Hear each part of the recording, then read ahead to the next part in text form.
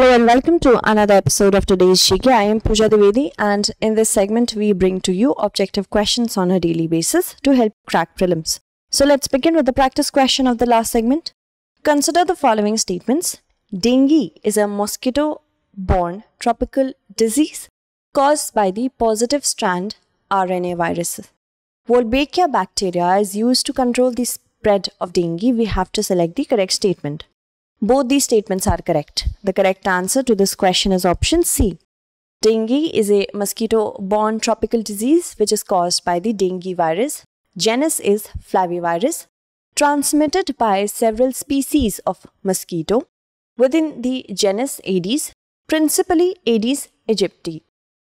Flavivirus is a genus of positive strand RNA viruses in the family Flaviviridae.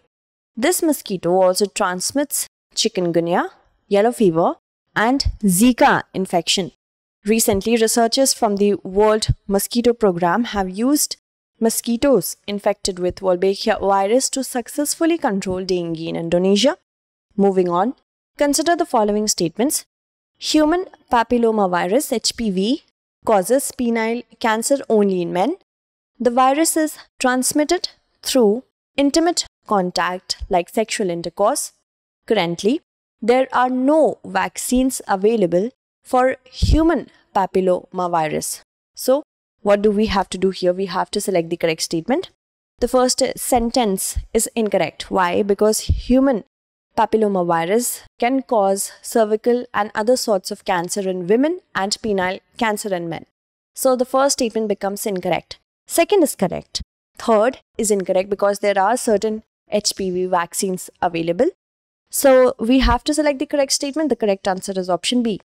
Recently, a new study shows that the HPV vaccination in combination with cervical cancer screening reduces the cancer to a point where almost no one develops it.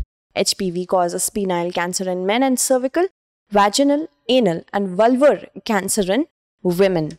Also, it can cause throat or rectum cancer in both men and women. The virus is transmitted through intimate contact like sexual intercourse. There are various types of HPV vaccines, including the quadrivalent vaccine, Gardasil, which protects against four types of HPV HPV 16, 18, 6, and 11. Moving on, the latter two strains cause genital warts. The other kind of vaccine is the bivalent vaccine, Cervarix, which protects against HPV 16 and 18 only. The third type is a nonavalent vaccine, Gardasil 9, which protects against 9 strains of HPV. Moving on, consider the following statements regarding Molnupiravir. Molnupiravir was originally developed to treat influenza and Molnupiravir works by causing viruses to make errors when copying their own RNA. So we have to select the correct statement. Both these statements are correct. The correct answer is option C. Recently, researchers have engineered enzymes to enable faster manufacture of molnupiravir, an investigational oral antiviral being developed for the treatment of COVID-19. Molnupiravir works by causing viruses to make errors while copying their own RNA, introducing mutations that inhibit replication. And manufactured by Merck, the drug was originally developed to treat influenza. It has been submitted to the US FDA for review as a COVID 19 treatment. In India, the Optimus Group recently announced the results of phase 3 clinical trials, which found 91.5% of patients given uh, the drug test RT-PCR negative compared to 43% in the placebo group. Moving on, consider the following statements. Among the states, Karnataka has the highest number of leopards recorded. Region-wise, Western Ghats have the highest number of leopards. Leopards have been listed as vulnerable in IUCN Red List. So, we have to select the correct statement. The first statement is incorrect because among the states, Madhya Pradesh has the highest number of leopards, followed by Karnataka and then Maharashtra. Region wise, central and eastern Ghats are central India and eastern Ghats have the highest number of leopards. Second is also incorrect. Third is correct, that leopards have been listed as vulnerable in the IUCN Red List. So the correct answer should be option C, that is 3 only. The leopard faces an 83% increased risk of extinction in North India due to roadkill, according to a new international study. The study has been published in the journal Global Ecology and Biogeography. The largest number of leopards have been estimated in Madhya Pradesh, followed by Karnataka, and then Maharashtra. Region wise, Central India and Eastern Ghats have the highest number of leopards at 8071. Western Ghats has 3000, approximately 3000 leopards. Shivalik and Gangetic Plains, approximately 1200. And Northeast Hills, 141 leopards. Moving on, conservation status if we talk about, our IUCN has listed it as vulnerable. Convention on International Trade in Endangered Species of Wild Fauna and Flora under Appendix 1. Consider the following statements. Khasi Hills Autonomous District Council is a body under the 6th Schedule of the Constitution. The 6th Schedule of the Constitution provides for the administration of tribal areas in Assam, Meghalaya, Tripura and Mizoram. We have to select the correct statement. Both are correct. The correct answer is option C. Khasi Hills Autonomous Council in Meghalaya is a body under the 6th Schedule of the Constitution.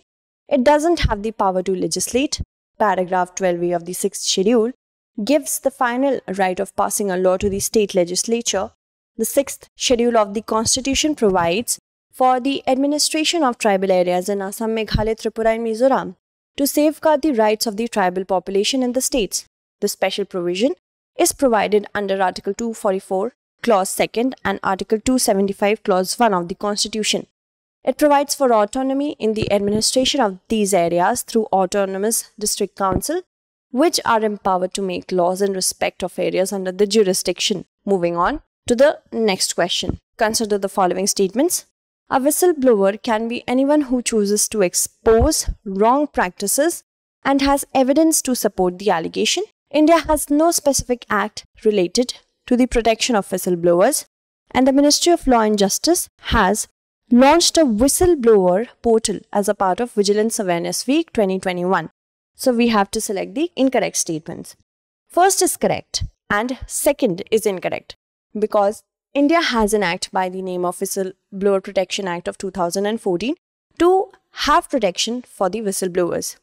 And IREDA has launched a portal, a whistleblower portal, not the Ministry of Law. So Second and third are incorrect. First is correct. The correct answer should be option B. According to the Companies Act 2013, whistleblowing is an action aimed at drawing the attention of stakeholders to instances of unethical practices in the organization, and a whistleblower can be anyone who chooses to expose wrong practices, has evidence to support the allegations.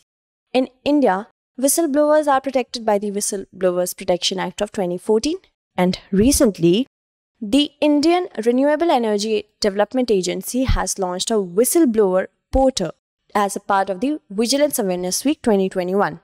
Moving on, it is a part of the IREDA's Zero Tolerance of Corruption. Through this portal, IREDA employees can raise concerns related to fraud, corruption, abuse of power. IREDA is a mini Ratna Category 1 Government of India enterprise under the administrative control of Ministry of New and Renewable Energy. Moving on, Consider the following statements with respect to solar power calculator. It uses data obtained from Earth observation satellites that are continuously monitoring the planet from polar orbit. It is about using satellite data and identifying potential areas where maximum solar energy is available per year. We have to select the correct statement. The first statement is incorrect because it uses data. The solar power calculator uses data obtained from Earth observation satellites, which are present in the geostationary orbit and not polar orbit. So, first is incorrect. Second is correct. The correct answer to this question is option B. The Indian Space Research Organization has demonstrated the method of identifying the best suited locations for installing upcoming solar power generation farms across the globe. India's state-run space agency has developed solar power calculators so, using data obtained from its own Earth observation satellites that are continuously monitoring the planet from geostationary orbit. Okay, let's move forward. It is about using satellite data and identifying potential areas where maximum solar energy is, is available per year across the globe. Moving on, consider the following statements with respect to Major Dhyan Chand Khel Ratna Award. It comes with a cash prize of rupees 25 lakh. The Khel Ratna Award was instituted in 1991-92. The first recipient of the award was Dhanraj Pillai. So we have to select the statement which is or are not correct. The first statement is correct that it comes with a cash prize of 25 lakh and second is also correct that the Khel Ratna award was instituted in 91-92. But the first ever recipient of the award was Vishwanathan Anand, the chess legend. So first and second are correct, third is incorrect. The correct answer should be option D. The Ministry of Youth Affairs and Sports on Tuesday announced the list of Major Dhyan Chand Khel Ratna awardees with the ceremony scheduled for November 13th at the Rashtrapati Bhavan. The now renamed Major Dhyan Chand Khel Ratna Award comes with a cash prize of rupees 25 lakh. Erstwhile it was known as Rajiv Gandhi Khel Ratna Award. Moving on, the Khel Ratna Award is, was instituted in 1991-92. The first recipient was chess legend Vishwanathan Anand and among the other winners were Leander Paes, Sachin Tendulkar, Dhanraj Pillai, Pullela Gopichand, Abhinav Bindra, Anju Bobby George, Mary Kom, and Rani Rampal in 2020. Consider the following statements with respect to Ayushman CAPF. It was launched on 15th August 2021. It's a joint initiative by the Ministry of Defense and National Health Authority, so we have to select the correct statement. The first statement is incorrect because Ayushman CAPF was launched on 23rd January 2021. Second is also incorrect because it is a joint initiative of Ministry of Home Affairs with the National Health Authority. So the correct answer is option D, neither one nor two. Union Home Minister announced that the centre has extended the Ayushman CAPF healthcare scheme benefits of the Central Health Insurance Program to the personnel of all Central Armed Police Forces pan India in a phased manner. It's a joint initiative by the Ministry of Home Affairs and NHA, which will provide cashless healthcare services to the serving CAPF personnel from all seven forces. They are Assam Rifles, BSF, CISF, CRPF, ITBP. Launched on 23rd January 2021 in Assam, this Ayushman CAPF scheme will be implemented across the country in a phased manner. Moving on. Consider the following statements with respect to the infrastructure for a resilient island states, it is a part of the coalition for disaster resilient infrastructure. It has been launched by India for developing the infrastructure of small island nations vulnerable to climate change. We have to select the correct statement. Both are correct. The correct answer to this question is option C. Prime Minister Narendra Modi launched infrastructure for resilient island states on the sidelines of the climate summit in Glasgow. This initiative has been launched by India for developing the infrastructure of small island nations vulnerable to climate change. The new initiative is the result of cooperation between India, UK, Australia, and included the participation of leaders of small island nations such as Fiji, Jamaica, Mauritius. This initiative is a part of the coalition for disaster resilient infrastructure that would focus on building capacity, having pilot projects especially in small island developing states. Zero virus policy, recently seen in the news, belongs to which of the following countries? Indonesia, China, Venezuela, New Zealand. So the correct answer is option B, that is China. China will not give up on its zero virus policy towards local COVID 19 cases anytime soon, some experts said, as the policy has allowed it to quickly quell local outbreaks while the virus continues to spread outside its borders. Let's move on to the practice question for the next segment. With reference to production linked incentive scheme, consider the following statements. It is an outcome and output oriented scheme. The scheme incentivizes only the sunrise sector. We have to select the correct statement. So that's it for today. Tomorrow we shall meet again with another segment. Until then, stay updated and thank you so much for watching.